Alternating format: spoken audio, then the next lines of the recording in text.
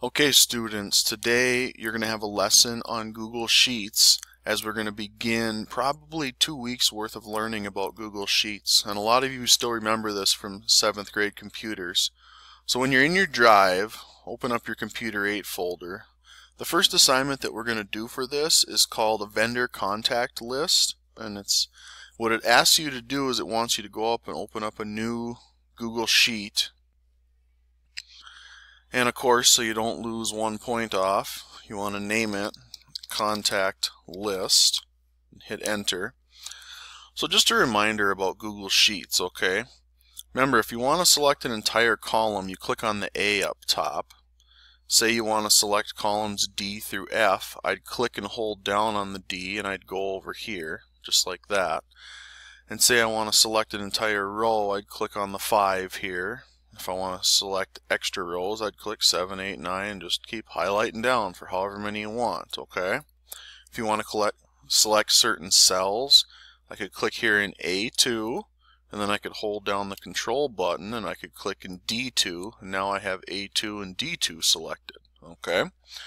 So just some reminders, you know, if you start typing out some words and the computer's going to know, hey, you're putting months in order. Remember, you can go here to the right side with the black X and you can go down and do autofill. There I got January through August and then I can go all the way down and I can get until I have all the months lined up in order here for you. So that's one of the processes that you can use as well in Google Sheets. Another thing is the numbering. So if I number down here and I use the autofill see how it copies the number 2 here? But if I go back up here and I hit the control key and I do the autofill, what's going to end up happening is it does the numbers 1 through 12 for each of the months for you. So that should help you out some. You can click to get to a new cell. You can use the arrows on your keypad to go around to a new cell. Remember to make a cell wider, you want to click right up here See if I double click it makes it narrow just the size of the largest amount in the cell.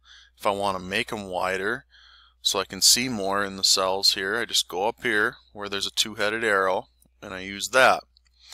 So that's part of just remembering all about um, Google Sheets for you. The last thing that I'm going to show you in this quick tutorial is when you're typing out information in Google Sheets. Make sure you put all of your headers here and especially in the first one if you go to the second page it shows you figure E-1-1 which you're going to be typing okay? You need to make sure to put everything in there the way they have it on their sheet to include the headlines okay? And remember the same concept here. So here's some of the headlines. You can highlight these right here just like this and you can bold them you can italicize, you can change your font colors if you need to. You can even do a fill color on them so they have the fill in there for you. You can do borders around things right here. You know, here's certain borders. There's the more options so you can center stuff right here for you. Okay. There's even um, the vertical aligning. So if your cell is a little bit wider here, on this right there, you see how it's in the middle right there? It's vertically aligned for you. That's what vertical aligning does. And I think, and don't forget about the functions, which I'm going to do a whole separate tutorial about the functions. So I hope this information helps you out, and good luck.